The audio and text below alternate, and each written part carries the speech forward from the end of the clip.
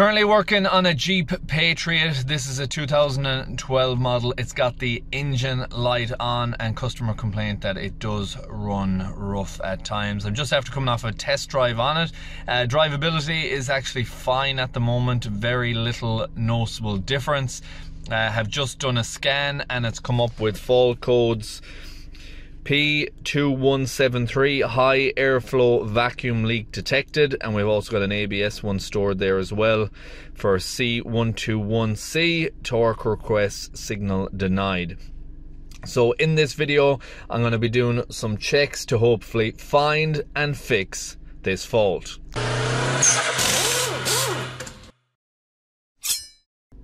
So just pulled up some information here, the long term and short term. Want to see what's going on there. Um, at the minute, looks to be fine. Looks to be within what I would expect. There's no idle issues either, so your idling is fine. RPM change is okay as well. So I'm going to do a road test now, see what the long-term and short-term do, see if they go outside of what the expected range would be. Then I'm going to get it back to the workshop and do some visual checks around the bonnet and then maybe a smoke test as well, depending on if I find something or not. So that's the plan. Get back to the workshop after a road test. So while on the road test, there was nothing that I could pick up that was standing out and out of the way. So it was back to the workshop and have a look under the bonnet and see if I could see anything. Unfortunately, there was nothing obvious there, so it was time for the smoke machine to come out.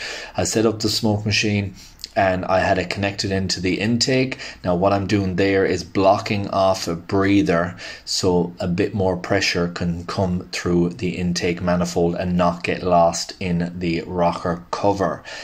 And as you can see here, once I have that breather pipe blocked off, it starts to push it up through and you can see on the top of the intake manifold is leaking heavily across all cylinders. Okay, so I have it all back together now. The smoke machine is put away. The engine light is off. That's only because I cleared the codes. Um, fuel trims and all that are actually okay now. But as we seen in that uh, smoke test, that intake manifold gasket is leaking.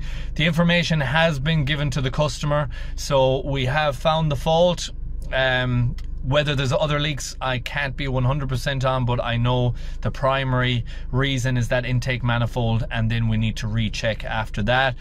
If the customer comes back and gets the work done through us in a short period of time, I will attach it onto this video and include the final um, test drive in it. If not, that's the end of this video. So I hope you enjoyed and found it informative. Again, if you have a fault code like that, checking the likes of the fuel trims and then checking to see if you have any visual leaks, you can use the likes of uh, a, a carby cleaner or a brake clean around different areas to see if you um, can hear any audible change, but that's really if you have leaks that are causing idling issues consistent consistently, where you would have a tone change in the idle when you would be um, injecting that carby cleaner. Let's say it was around that intake manifold. On the likes of this, it wasn't that notable. The idle's okay, performance is okay, so the smoke test is really the only method that I'd be comfortable using and getting a definitive result. So the customer did decide to get the repair done and what you're looking at here is the old intake manifold gasket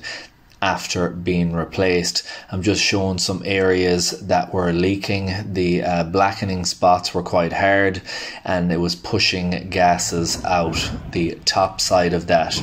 This is it all back together, bar a few other connections, and we're getting ready for the final road test. So the Jeep now is all finished up. It's got the intake manifold gasket installed, road test completed, and no faults have been recorded again.